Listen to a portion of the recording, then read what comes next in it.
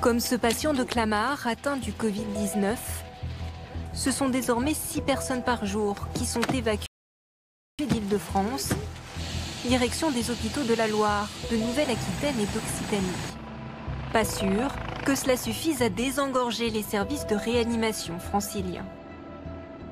Nous avons évacué, oui, un patient. Nous avons pu évacuer un patient. Et nous avons reçu, euh, ce, durant ce week-end, cinq patients nouveaux en réanimation. Donc je vous laisse tirer les conclusions de l'intérêt de ça. À peine libérés, les lits sont à nouveau remplis par un flux de patients continu.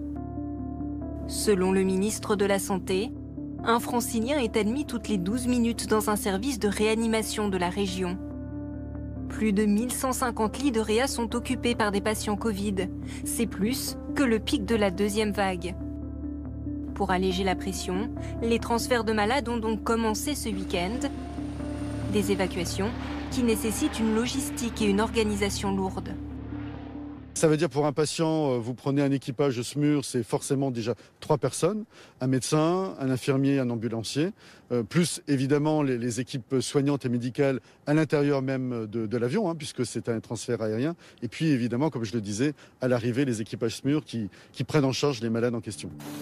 Allez, 1, 2, 3. Si le nombre d'entrées en réanimation se poursuit au rythme actuel, le seuil critique des 1500 patients pourrait être atteint à la fin du mois de mars.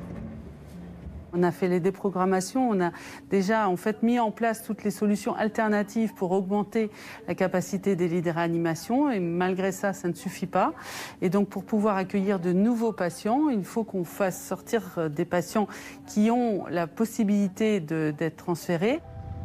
Avec une épidémie hétérogène, le gouvernement mise sur la solidarité entre régions pour prendre en charge ces malades. Une stratégie qui n'est pas du goût de tous. La bonne solution aurait été d'ouvrir des lits en prévision euh, de cet épisode qui était très prévisible. Il y a une meilleure solution qui est, dans les locaux existants, de euh, faire venir du personnel volontaire. Pour être transféré, le patient doit être stable d'un point de vue ventilatoire et cardiaque.